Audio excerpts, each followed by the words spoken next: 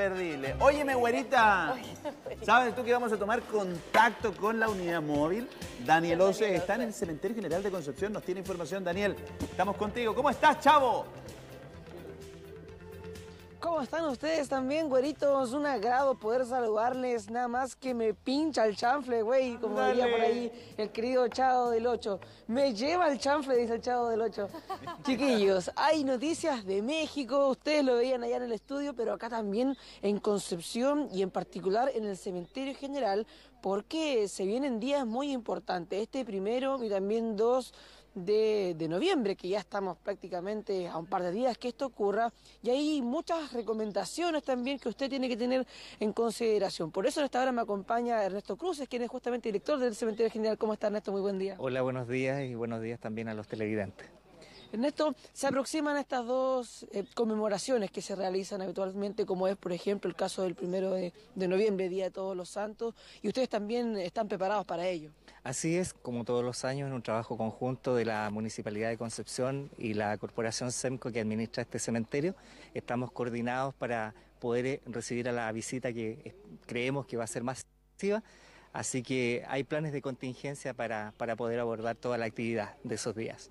Sin duda. Y ese plan de contingencia, me imagino también ustedes lo han elaborado junto con carabineros, también con distintos estamentos para garantizarle, por supuesto, a la gente también la seguridad tener que venir a este lugar sin ningún inconveniente. Justamente con carabineros de Chile, también participa bomberos y vuelvo a repetir, distintas direcciones de la ilustre Municipalidad de Concepción, por ejemplo la DAS con un policlínico móvil, aseo y ornato con camión aljibe para poder mojar las calles y no se levante polvo y de lo contrario si está lloviendo para que puedan también ayudar en la distribución de agua en algún sector que pudiera tener algún problema. Como usted puede ver y los televidentes que están viendo esta nota, estamos preparados como siempre para que este sea una visita agradable y sobre todo muy segura. Ernesto, los horarios también es muy importante. ¿Cómo van a funcionar esos días? Eh, bien, extendimos nuestro horario habitual y hay una apertura a las 8 de la mañana y el cierre a las 19, tanto para el día primero como para el día 2. Ernesto, muchas gracias. Muchas gracias.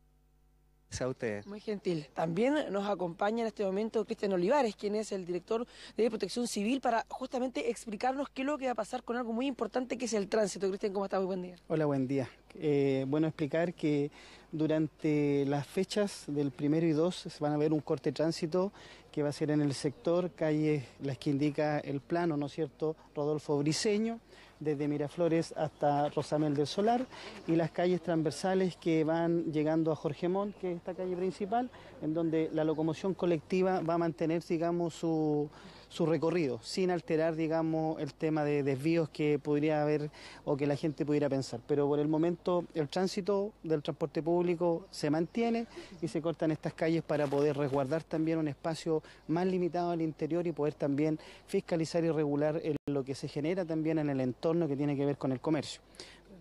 me imagino que también en ese sentido la recomendación para las personas que vengan ese día a querer estar justamente en este lugar es que justamente prefiera el servicio público o que los vehículos a lo mejor lo puedan dejar en otros lugares que nos, queremos pensar, ¿cierto? Que van a estar también muy cerca también del cementerio. Idealmente es que las personas ocupen el transporte público, eh, entendiendo, digamos, que son dos eh, un evento masivo, digamos, en términos de asistencia al cementerio general. Por tanto, eh, en los sectores que están cercanos al cementerio va a dificultar un poco este tema de, traer vehículos particulares para el tránsito. Pero se incentiva y se motiva a la gente que ocupe el transporte público para poder acercarse al cementerio.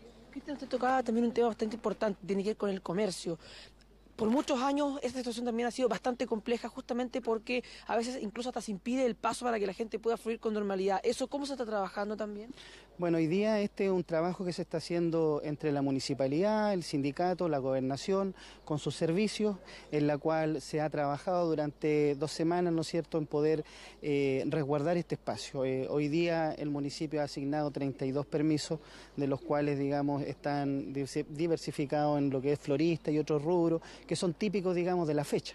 Pero también va a haber un contingente que va a poder regular eso también y ahí la gobernación nos ha prestado su apoyo también y el municipio con sus inspectores municipales para poder eh, con los servicios poder fiscalizar y Carabineros de Chile obviamente que es muy importante porque ellos han participado desde el comienzo en este, en este trabajo, trabajo que ya lleva tres años, este es el tercer año que llevamos, ¿no es cierto? Y que de alguna manera hemos ido generando un precedente respecto a cómo se quiere, digamos, ver y representar el cementerio en esa fecha. Ernesto, agradecerle por su tiempo. Muchas gracias. Listo, muchas gracias. Bien, hay otra cosa también que queremos aprovechar el instante de poder conversar junto a Armando Cartes, él es docente, por supuesto, de historia, ha estado junto a nosotros en el matinal Armando, bueno, y también conocer, ¿cierto?, lo que significa hoy contar con esta plaza, también muy importante, que vemos que mucha gente ya se ha congregado en este momento para ver su inauguración. Buen día. Buen día. Bueno, el cementerio se mantiene bien, se administra mejor, pero también se desarrolla, crece y es cada día más hermoso. Y todos los años hay una sorpresa, una mejora, y en este año tenemos dos. Uno es esta plaza hermosa, la plaza de los niños, porque los niños vienen al cementerio y juegan en las tumbas, juegan solos, ahora tienen este lugar hermoso, bien equipado, donde poder disfrutar. Y también una sorpresa interesantísima, un hermoso mural que refleja las aves de la zona de Concepción, aves que vienen al cementerio, que reflejan el entorno de este lugar, cosa de poner en valor el patrimonio natural que tiene este lugar, que ya sabíamos que era patrimonio cultural, pero también queremos que su dimensión natural sea relevada y que la gente la disfrute. Así que vengan a ver las mejoras del cementerio, porque como siempre hemos dicho, es una pequeña ciudad y como ciudad tiene que ir progresando y mejorando en servicio de los penquistas. Armando, y en ese sentido se está a lo mejor ya pensando, sabemos que va a llegar mucha gente, pero a lo mejor en algún tipo de tour guiado, algo en que las personas también puedan ir conociendo parte de la historia, del patrimonio que hay en este lugar? Nosotros de septiembre a abril de cada año tenemos no uno, sino cinco tours guiados distintos de patrimonio e historia, con personajes históricos, con personajes populares, con artistas, y eso son los días jueves y los días sábados. Así que mirando nuestra página web del cementerio, la Corporación Senco, uno se inscribe y puede ver, más que un tour guiado, un tour recreado, donde los personajes vuelven a la vida y conversan con uno y le cuentan quiénes fueron y qué hicieron y qué aportaron por Concepción. Así que ojalá muchos se sumen a estas visitas, que esta semana por el primero de noviembre no van a tener lugar, pero a partir del próximo jueves nuevamente las tomamos y por todo el verano. Ya es una tradición de verano a Concepción, los tours del cementerio general. Muchas gracias, hermano. A usted. Muy gentil. Bien, chicos, ahí estamos entonces nosotros en este momento conociendo todos los detalles respecto de la situación que va a ocurrir en este primero y también el 2 de noviembre respecto principalmente del funcionamiento interior dentro del cementerio, que es lo que ocurre también con eh, las situaciones, ¿cierto?, de los estacionamientos, los cortes de tránsito y por supuesto también el funcionamiento para este 1 y 2 de noviembre.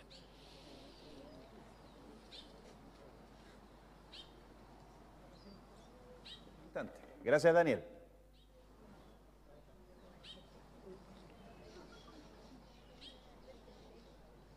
Bien. Muchas Ahí está. gracias. Sí, está bien, porque tiene que tener un ordenamiento estos días, lógicamente, y también ahí con, con buenas noticias, así que nos quedamos con eso.